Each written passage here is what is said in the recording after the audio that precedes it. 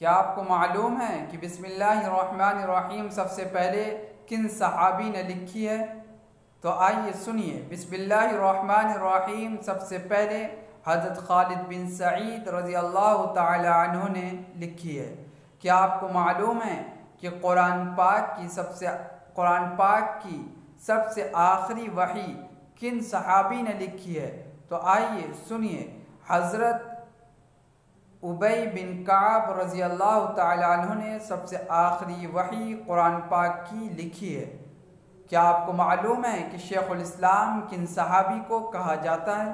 تو آئیے سنیے۔ شیخ الاسلام حضرت ابوذر غفاری رضی اللہ تعالی عنہ کو کہا جاتا ہے۔